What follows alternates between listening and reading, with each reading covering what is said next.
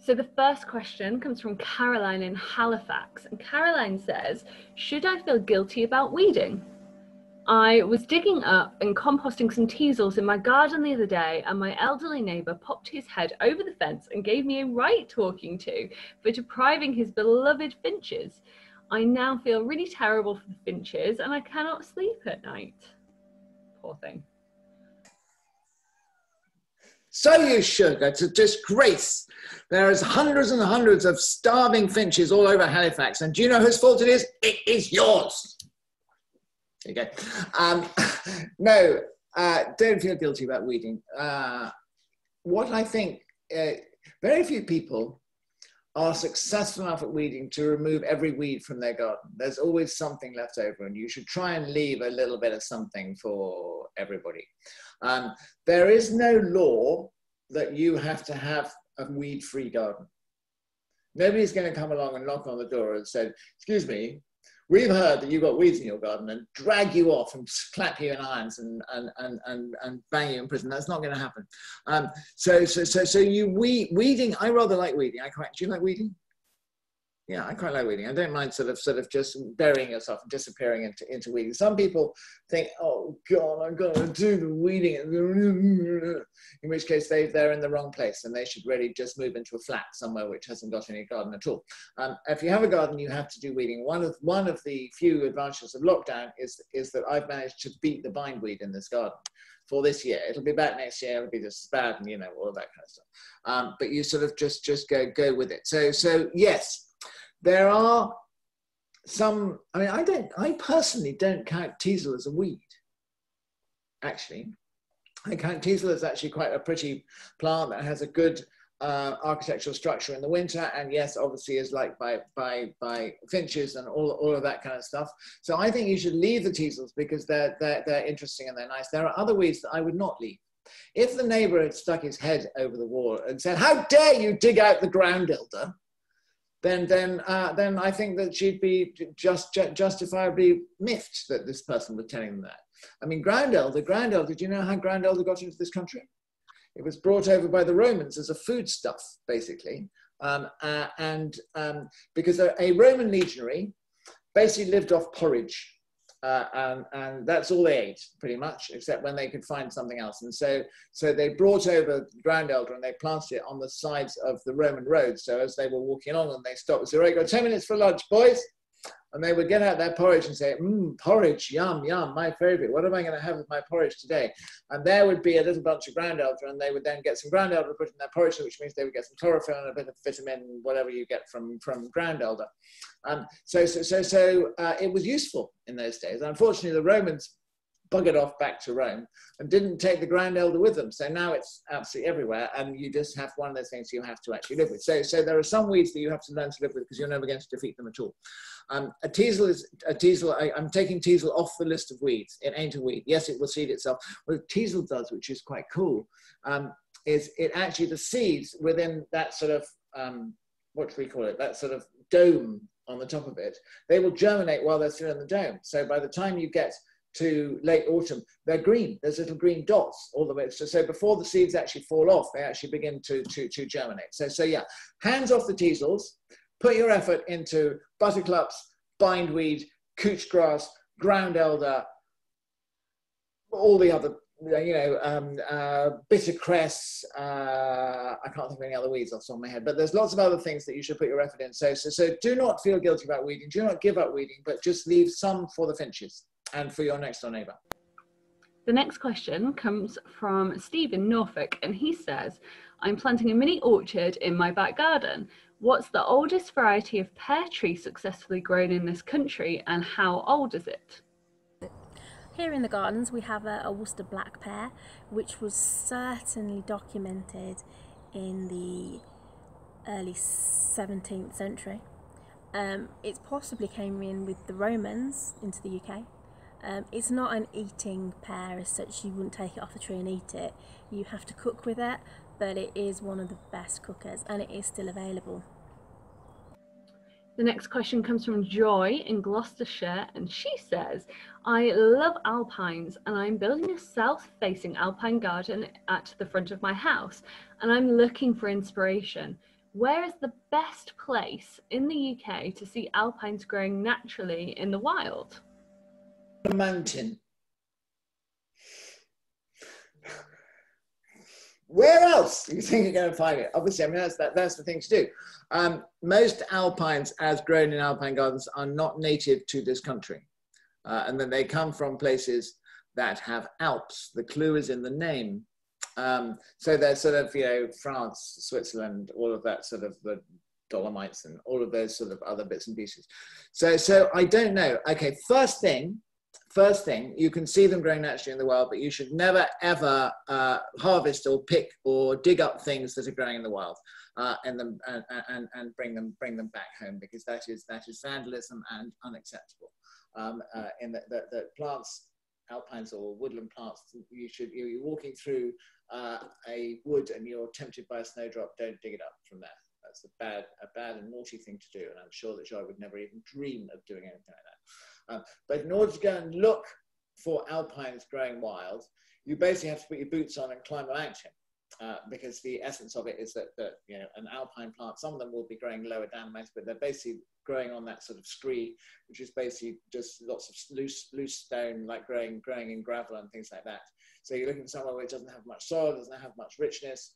Uh, there will be low plants because they they if they stay low, then they duck underneath the wind and they're not being blown off. You know all of that kind of stuff. But actually, the best places to go to look at alpine plants are other alpine gardens.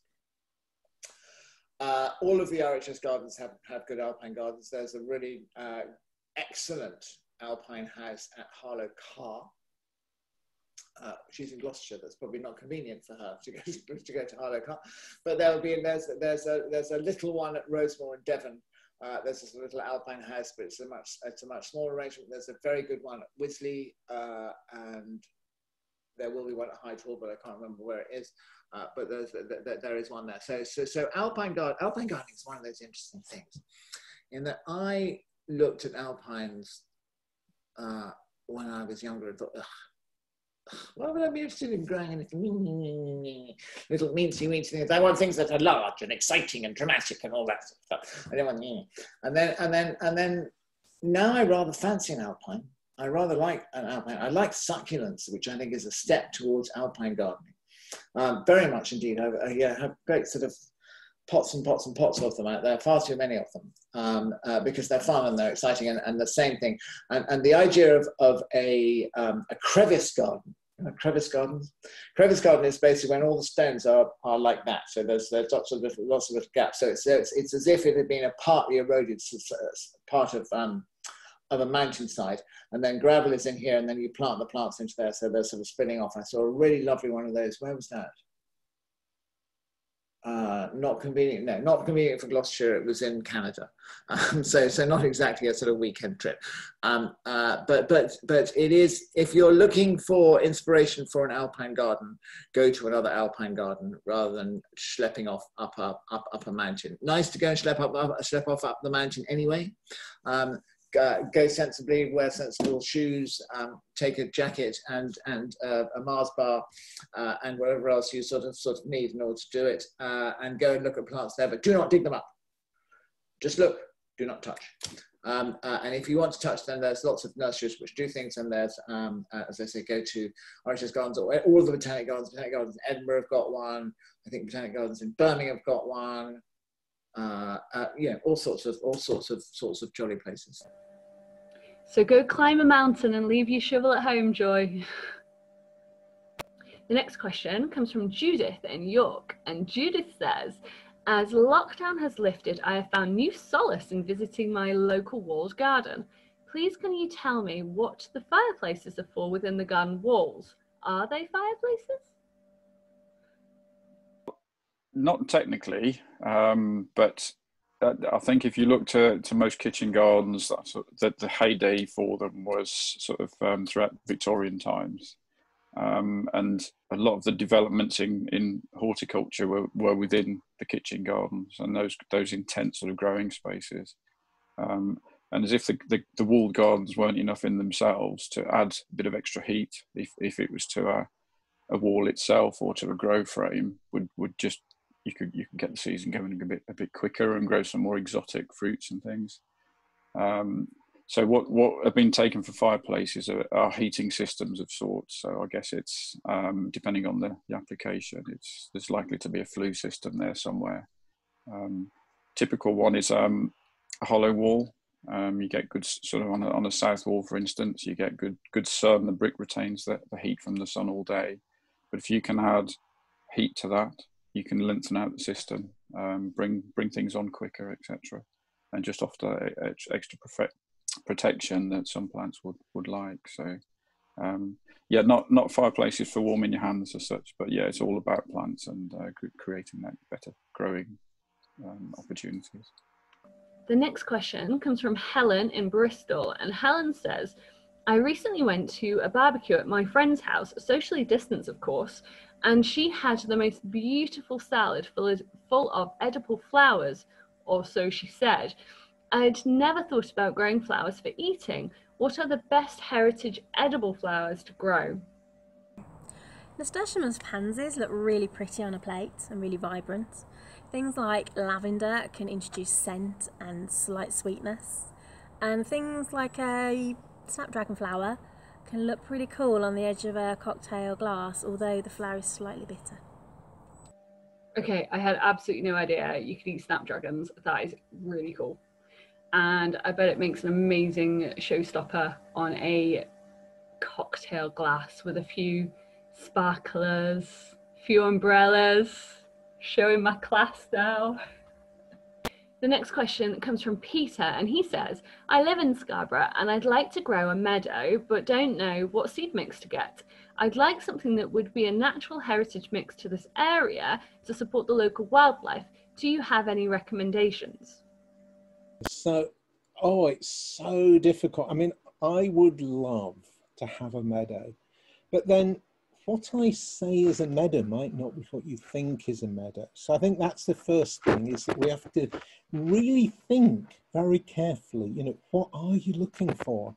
Now, one of the things that they did at the Yorkshire Arboretum, um, John Grimshaw and his team there, they just stopped mowing the grass they had. So they started to mow pathways through the trees. And then all of a sudden, other wildflowers started to spring up. And they noticed the grasses were still growing just a little bit too vigorously because wildflowers like a really poor soil.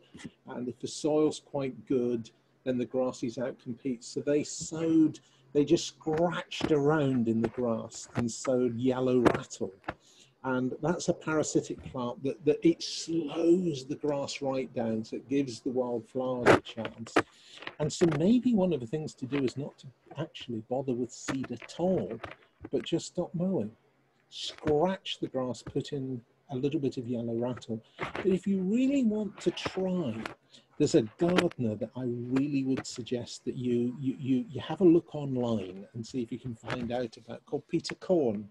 Now, he gardens in Sweden and he's got this this kind of very different approach to gardening which is this ecological gardening. And he's saying look you really have to get to know the plant. If you're going to have your meadow actually find out where the plant normally grows what it likes likes to grow by the side of a stream in swampy in swampy sort of boggy ground it ain't gonna like it if your Scarborough garden is very sandy. So let's find out what the plants love. Then let's see what we've got in our garden.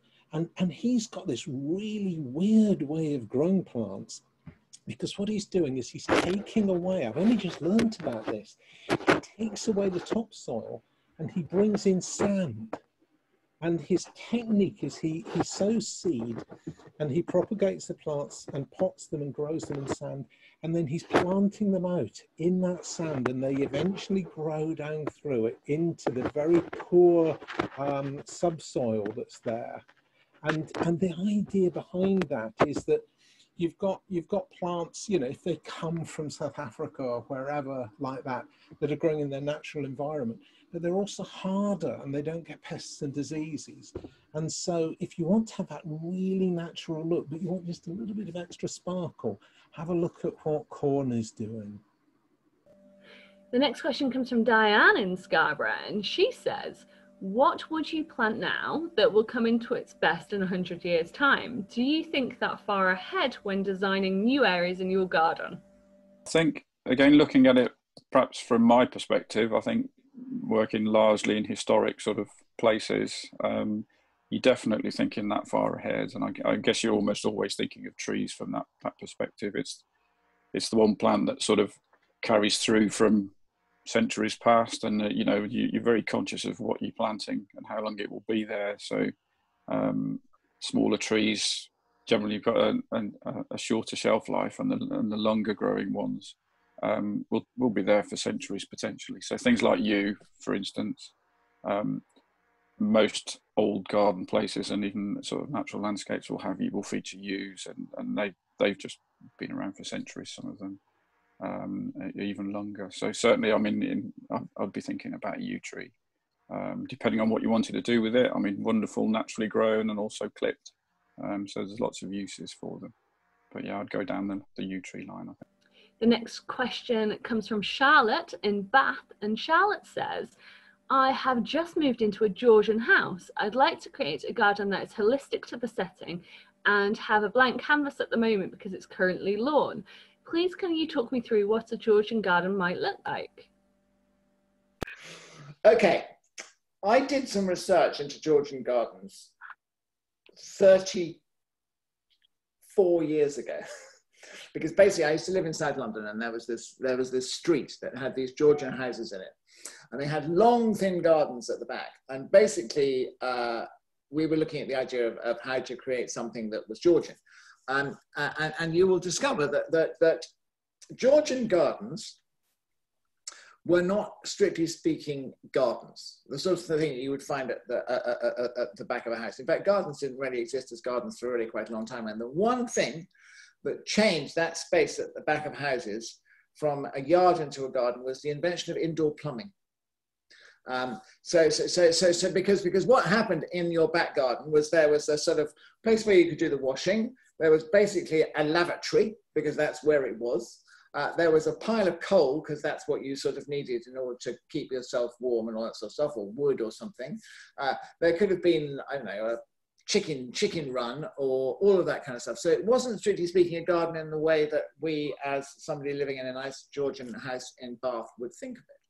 So, so it would have had, you know, it would have had a lot of sort of gubbins and sheds and, and all that sort of stuff that, that you actually needed. So, so if you were looking at a purely decorative Georgian garden, the one that I, I remember designing for this that was basically was basically what she's got, which was a sort of lawn in the middle, and then two paths that went up the outside with some planting on the wall. So it was very sort of basic and very sort of simple and, uh, uh and, and very straightforward. So, so, so I think that what she has to bear in mind is the fact that she is not a Georgian, um, basically, and, and, and things are different. And she does have the advantages of not having to go to the end of the garden every time she wants to pee um, or, or, have to go out and actually wind a mangle in order to be able to wring out the clothes. And she has a tumble dryer and a washing machine and all those sort of things. So, so, so, so unless she wishes to get rid of all of that, which I'm not sure that many people are going to be prepared to sacrifice that in order to have a Georgian garden, then, then actually the most important thing in any garden is not to try and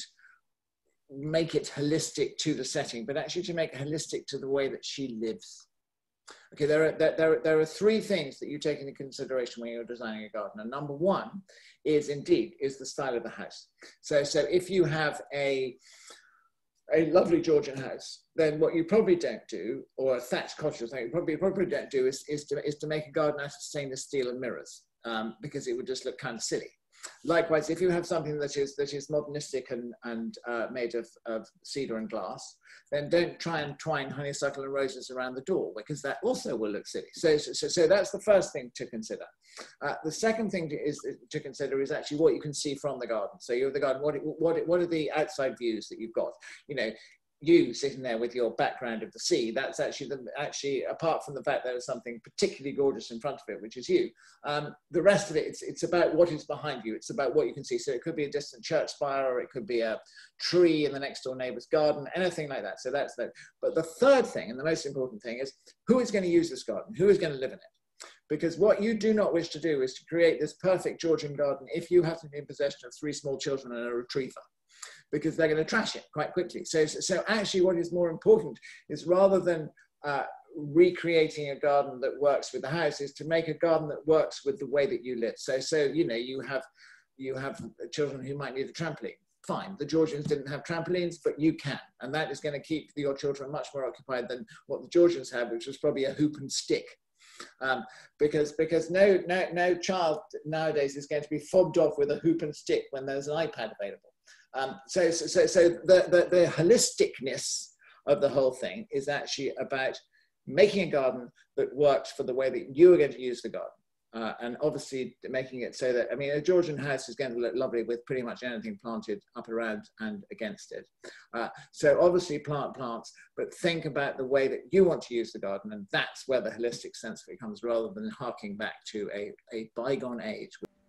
The next question comes from Arnold in Scarborough, and he says, who's your favorite gardener of all time?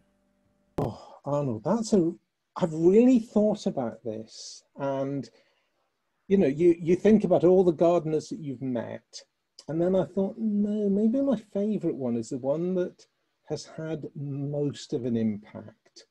And, and through my horticultural career, I started um, by working in the nurseries as a, as a Saturday person, summer holiday job person at Hilliers, um, in the propagation department, went to college, discovered this organization called the Royal Horticultural Society, took their Master of Horticulture. Um, they've been a constant in my, in my entire career. And I'm really honored to work with them now. And so I can't have anyone else as my favorite gardener, but this guy called John Wedgwood. And John Wedgwood who kind of related to the pottery. Um, he was a botanist, he was a horticulturist, and in an upper room of a bookshop with a few other people, Forsyth and one or two of the other great notaries of their day, they started in 1800 the Royal Horticultural Society. I don't think they got their first member for four years or something. His first meeting he chaired was about 1804. But what a guy, you know. So he's a, he's a botanist, he's a horticulturist, and they have this idea of setting up this society. And I can't think of anyone that's changed horticultural history more than he did. What do you reckon he was drinking? Do you think he was a pint man or a bit of a bit of a wine swirler? I think creme de menthe, but by the pint. Classy. The next question comes from Chris in London, and he says, Do you think you can mix up heritage garden design and modern garden design successfully? Yeah. Definitely. Yeah. Absolutely, definitely. You know, every every every garden uh, that is that is made uh, steals ideas from other places. Uh, garden design is built on larceny basically in that we're taking an idea what you know what gardeners do is is is that when they're not gardening they're looking at other things and and you know you go and see gardens i go and see gardens you think oh it's a nice idea. You adapt it you change it you twiddle it around. So you take something from a victorian garden and maybe twist it about in a slightly different way or use a different material. And so that is mixing an old idea and a new technique together and that makes something that is that is better and stronger. Uh, you know, the uh, first greenhouses that were built by Joseph Paxton at Chatsworth in 18 something, the children of those greenhouses, the little aluminium greenhouse that you have in on on your allotment or, or anywhere else. So, so, that is a that is a, a, an example of mixing things up. So it's a simplification and it's a popularization of it. So rather than being something grand that was only there for a duke, it's something that can be there for, for everybody. So, so, so I think it's, it is very, very important. There's no such thing as pure modern garden design because modern garden design has evolved rather than suddenly landed on us as if it was an alien from outer space. It's not something that's gone, boom, bang, it's appeared. 1800, modern garden design was modern garden design. It was, you know, it was, it was the Edwardian times. In um, 1700, the big uh, Humphry Repton and Capability Brown, that was modern garden design. In 1500, the idea of the hortus conclusus and the, mon- and the monastic gardens, that was modern design. In, in 2000 BC in China, that was modern garden design. Does that make, yeah, that, that, that, yeah. So, so, so, so basically there is no such thing as modern garden design. Modern garden design is an evolution of garden design over the last 2,500 years. The answer to the question is yes, of course you can, and you should do, and you will do, even if you think you're not. Please tell us why you love gardens. I like gardens because plants grow in them, and I prefer plants to people, and I get on with plants, and it's everything to me is about the plant. And if you came and you had a look at my garden, um, then you would see it's not the most beautiful garden. It doesn't have these amazing plant associations, color combinations. It's just rammed with plants that I've met and I, I just have to have, and that's it. So it's just, it's it, it's like a party where you've not thought about who you've invited and whether they get on together. It's just crammed with people. Why do I love gardens? Um, well, why would one not love gardens? I mean, basically, everybody loves gardens because gardens are are the air that we breathe. They are the the life that we live, uh, and they are the joy that we have. There you go. That's why I love gardens.